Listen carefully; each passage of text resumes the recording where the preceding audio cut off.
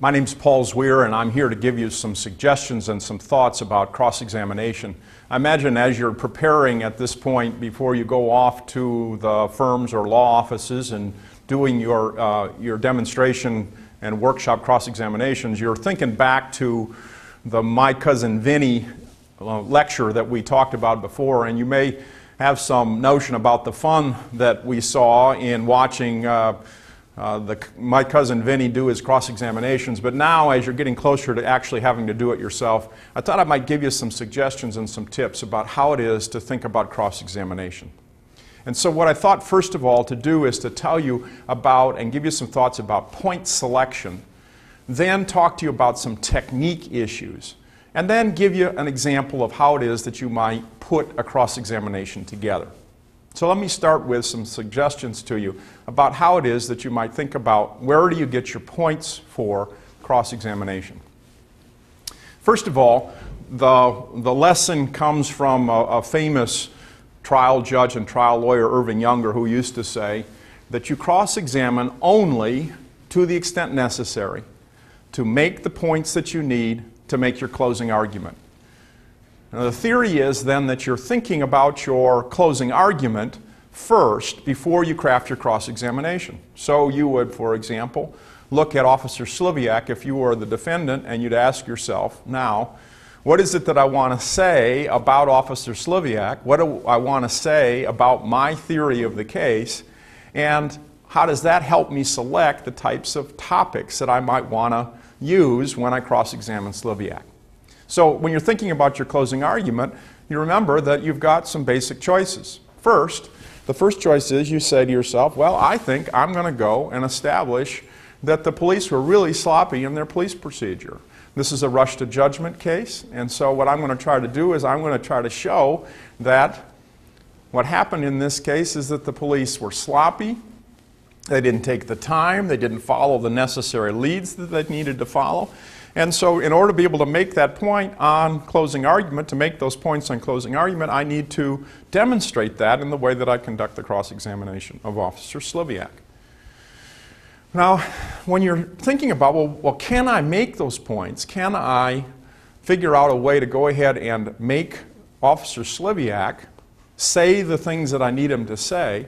You have to consider the sources that you have for the facts that are going to constitute some of the questions that you're going to ask. Because as you remember from the My Cousin Vinny, the, the technique of cross examination is to make a series of short statements, one fact per question statements, in an organized fashion that leads the jury to a particular conclusion.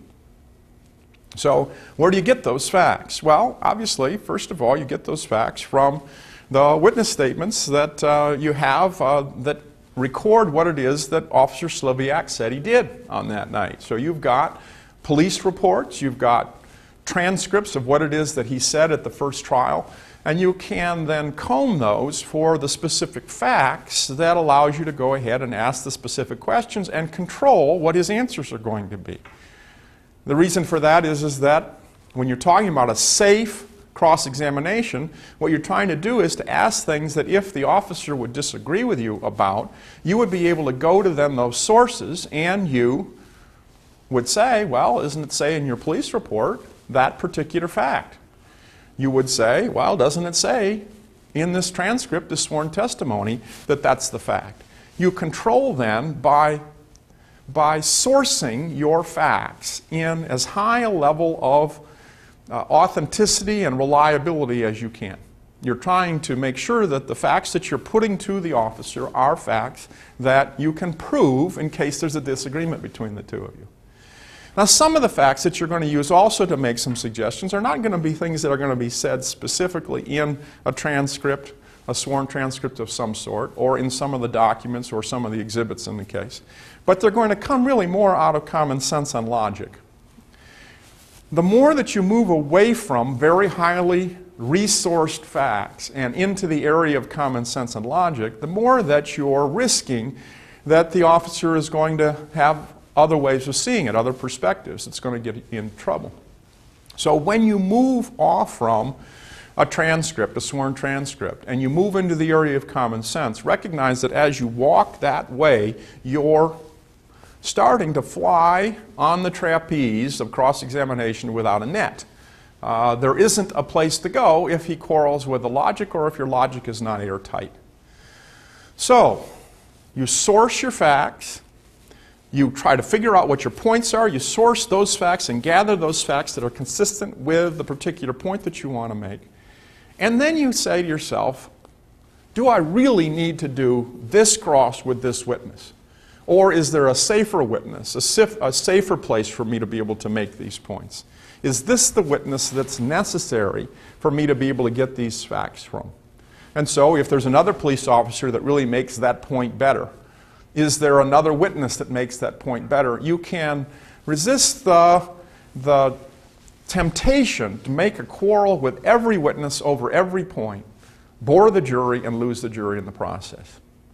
A rule of thumb is to not cross examine a witness if you can first establish the facts through a direct examination of some witness who you can control and prepare don't cross examine a witness on a point where you're only using logic and common sense and you don't have a resource to back it up. And before you cross examine, always ask yourself is it necessary? Or do I have the facts in the record already? And can I, in fact, say, with some degree of drama, I have no questions for this witness? And the argument is, is that the officer really did not help the prosecution's case because this officer really didn't say anything of consequence. So those are some of the factors you look at when you're trying to make a determination of which points you're going to select. Now let's talk a few words about technique and how it is that you craft cross-examination questions in order to be able to maximize control. In order to do that, let me remind you of three basic types of questions.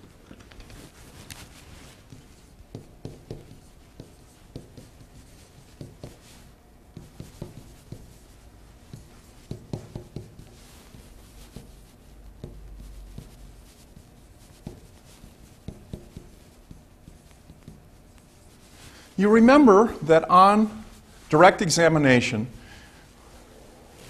we talked about these questions as being the questions which most establish the credibility of the witnesses who, what, how, why, describe, explain.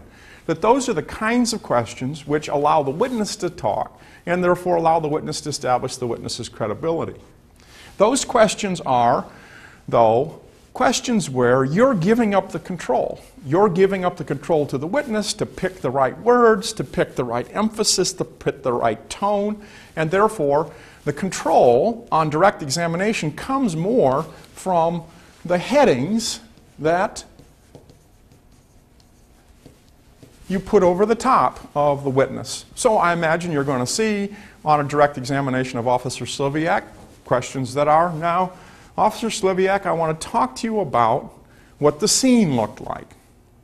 Tell us. Tell us how far it was from your car to the front door. What did the front porch of the house look like? And so you set a heading and then you ask a series of open ended questions what, how, why, describe, explain to us what the landscaping looked like. And those questions give up then to the witness the control to speak. Now, we talked about, remember, on direct examination, a mid level set of questions. These questions start often with verbs. For example,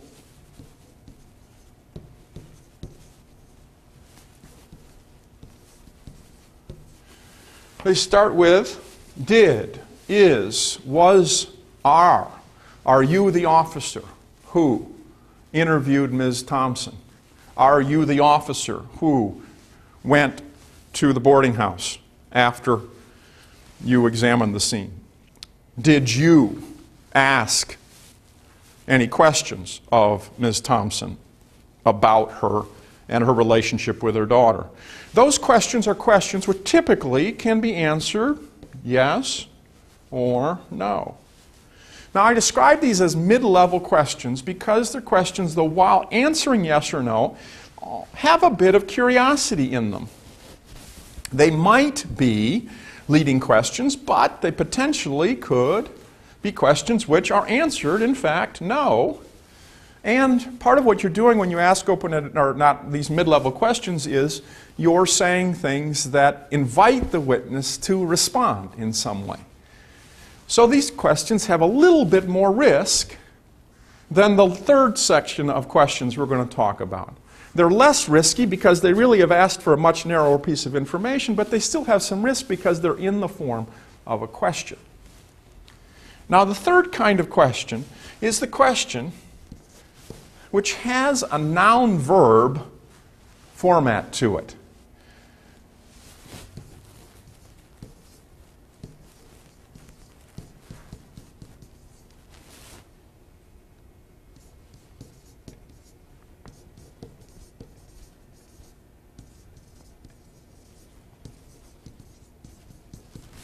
You did this. This happened next. This is a fact that you can't deny. These questions, you might say to me, are not really questions. They look like they're statements. The question really comes because of the context or the setting in which those questions are being asked. And so you say, Officer Sliviak, Officer Sliviak, you were the officer responsible for conducting the investigation of the death of Le- into the death of Leslie Mitchell. You were the person responsible. And you pause and you look at Officer Sliviak and you wait for Officer Sliviak to answer that question. Now, I want you to know that you may be in settings where some lawyers will object to that. They will say, counsel's making a speech. And so, if you are in a courtroom where the judge entertains that objection, and I would say to you, they shouldn't entertain that objection. They should understand that, of course, what's implied by that statement is is that right? Is that correct? But if you're in a court where the court says sustained to an objection that you're making a speech, well, then add some of those words that I just raised to, your, to the noun verb formats. Officer Sliviak, you arrived at 10:15 in the evening. Is that right? Correct? True? And your statement at the end, correct or true, should satisfy even a judge who is requiring you to put a question on it. Now, let me show you that those are then what? Those are most controlling kinds of questions. They're putting words, in effect, into the mouth of the witness. They're putting those words that you have selected, right, because you have, in fact, gleaned them from the trial transcripts or from the police reports, so you know that those facts are true. And the purpose of these very short one fact question is to put words into the brains, the minds of the jurors in that case. So, the technique that we would suggest to you to use and develop is to use only third level questions. Noun verb in format. Third level questions, noun verb in format, in order to be able to maximize the control that you exercise over the officer and in order to be able to keep the officer focused on the facts that you want the jury focused on. Now, notice a couple of features about the technique that's used.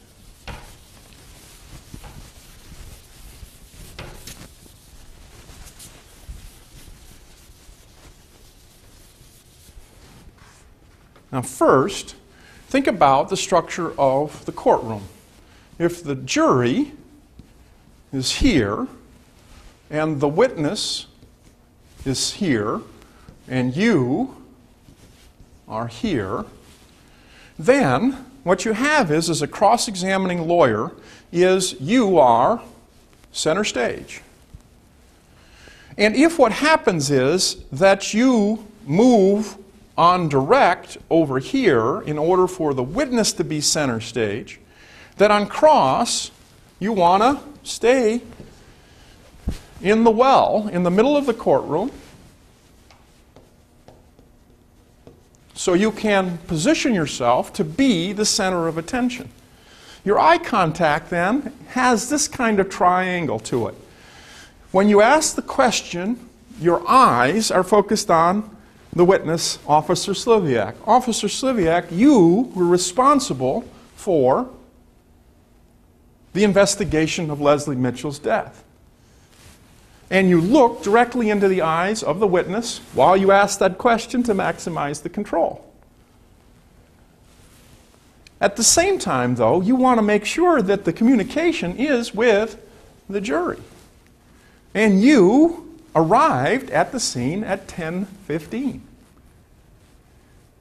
Your entire investigation that night was concluded by 10:30 when you left and here it seems to me you look at the jury. When you left the Thompson residence and went to the boarding house. So your technique is to really be talking to the jury as you're asking the questions. You also want to, as you're talking to the jury, you want to make sure that they are with you. They get it. They get the point that you're making. And here are a couple of what may sound like contradictory principles. The first is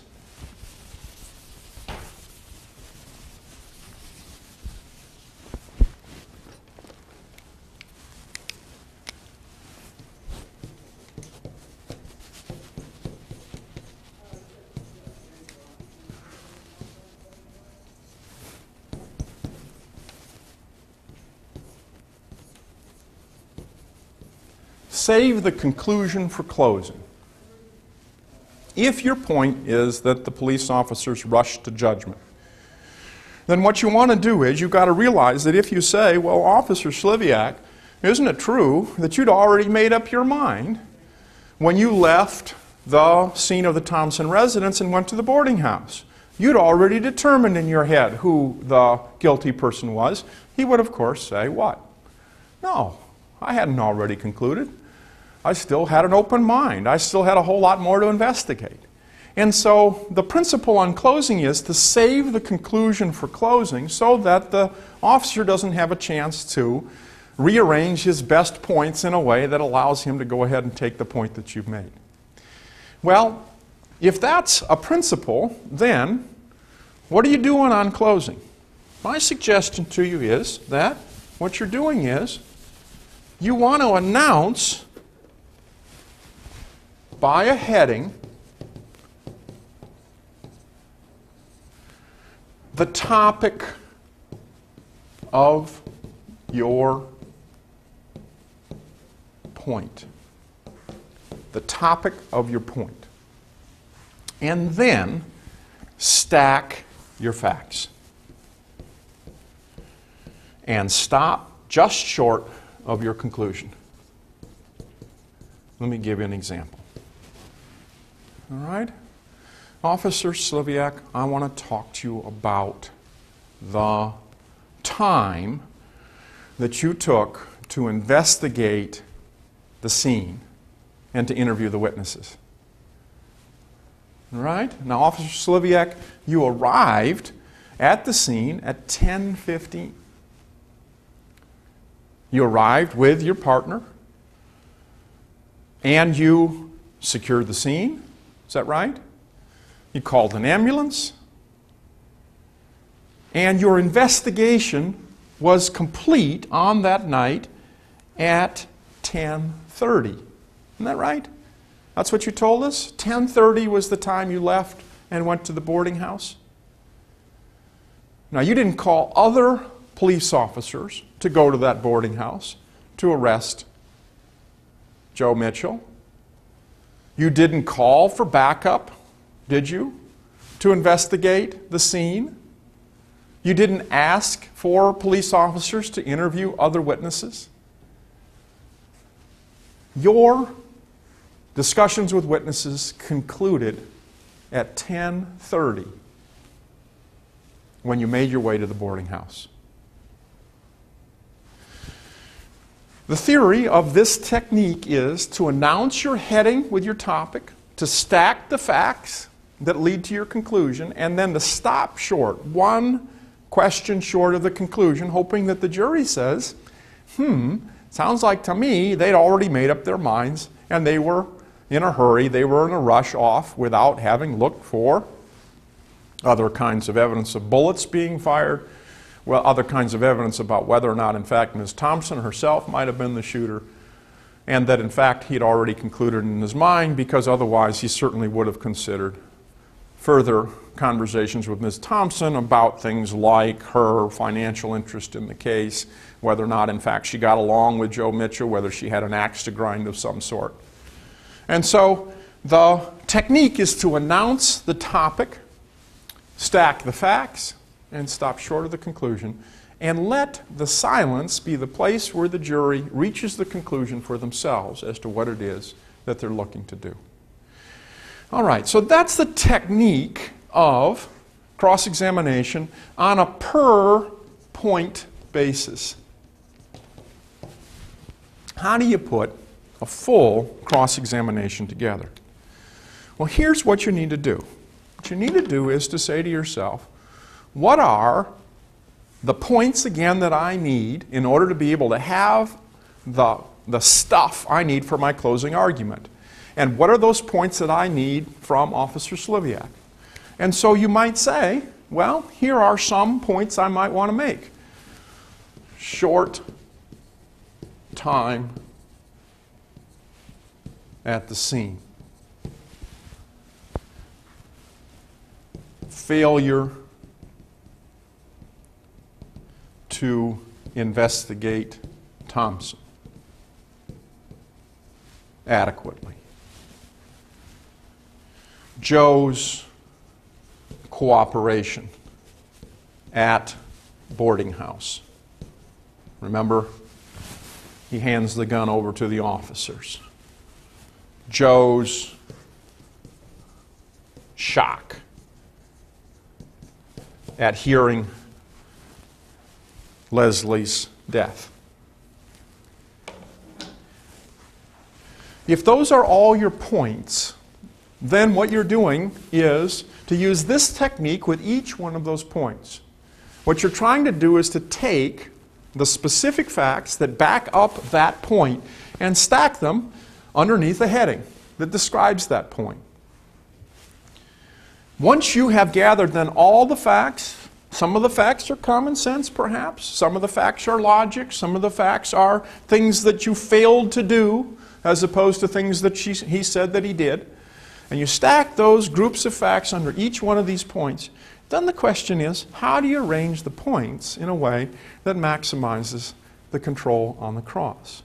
Well, there are a couple of principles of putting your cross all together once you've selected the points that you want to make. One principle is this primacy and recency. That is to start with your best point and end with your second best point. The theory of this organizational principle is to say that jurors remember best what they hear first. And they remember second best what they hear last. And so, if they're going to remember most about your cross, what you want them to remember is the point that you start with and the point that you finish with. In between, you might take a little more chances knowing that you've got a good, strong point to end on, one that has maximum control.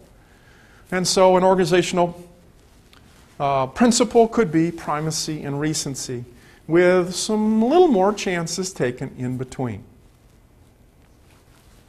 Or what you could do is to try a principle of soft to hard. The theory of this principle in putting your cross examination together is to say you can start out by getting areas of agreement with a witness so that you can agree as Officer Sliviak that there are things that they're supposed to be doing. That in fact they have to keep an open mind. That as an officer, that's a tough job. That one of the most difficult things is to not pollute a crime scene at the same time that you're investigating it.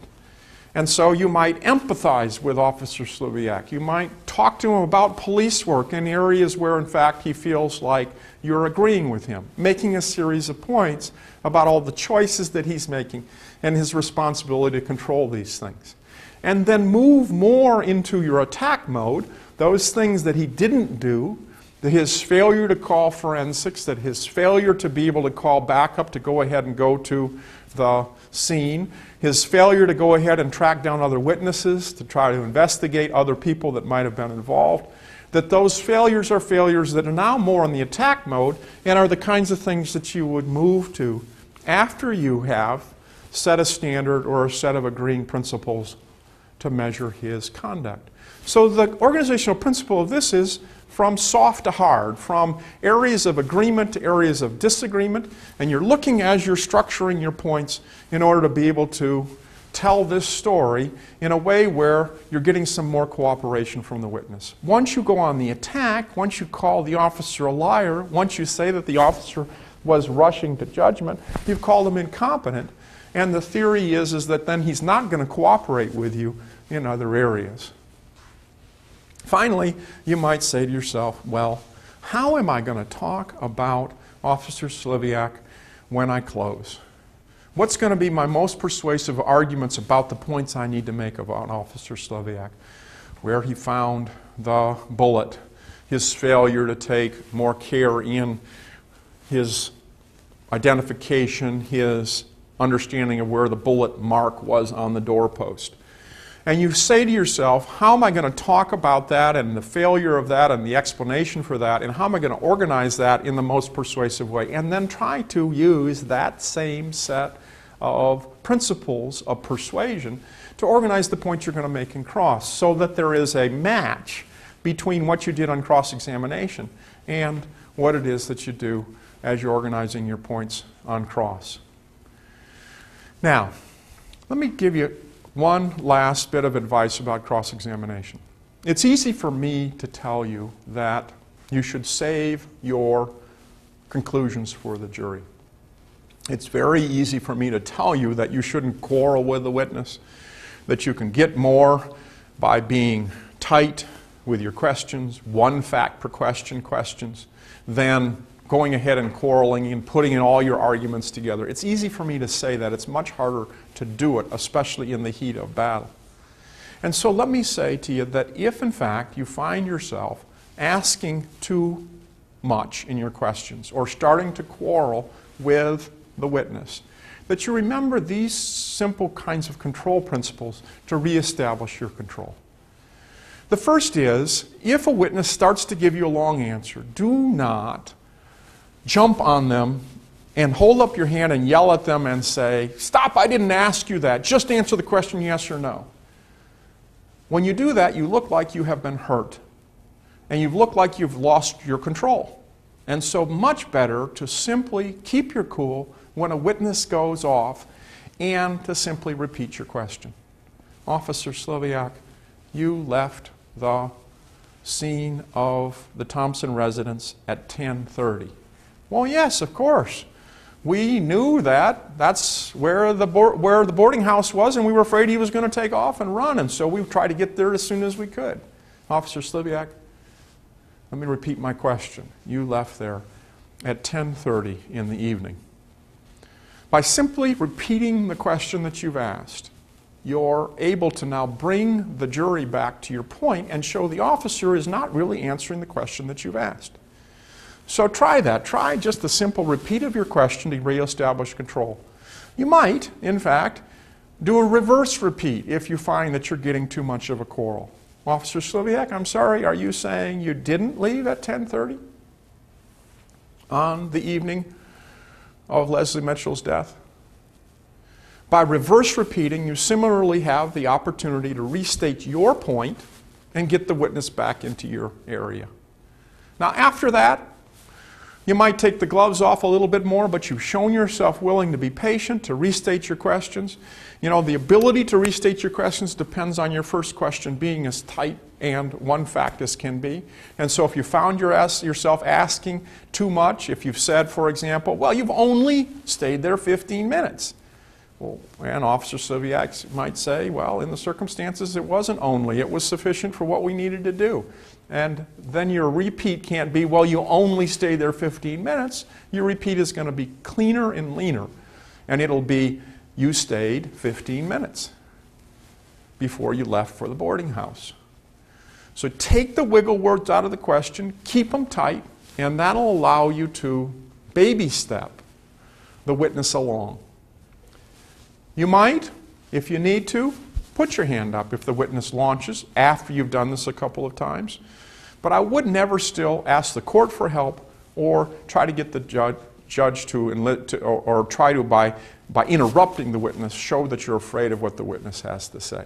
Your attitude in control should always be members of the jury, once you hear my facts, you'll realize and agree with the conclusions that I'm looking for you to, for, to reach. So don't quarrel with them, don't lose your cool, don't lose your patience. Just stay patient, repeat your questions, use a reverse repeat, and simply stay on the task, keeping your questions as tight as you can do it. So, so some control suggestions for you in case things get, get run. Now, as you think about your cross examinations, if you follow some of these principles, you'll have the success experience that I, am sure that you're looking for here. You, it takes some work. It takes some detailed resource work to make sure you source your questions and your facts in as tight a way as you can, either in the record or in, in bulletproof logic. Try to stay away from the one question too many. Don't argue your point. Save it for closing. And if you follow these simple rules of one fact per question, baby steps, announced by a topic, then the jury is going to reach the conclusion before you need to tell them about it. And when you get to closing, your job is to then remind them of the conclusions that they've already reached for themselves. Thank you.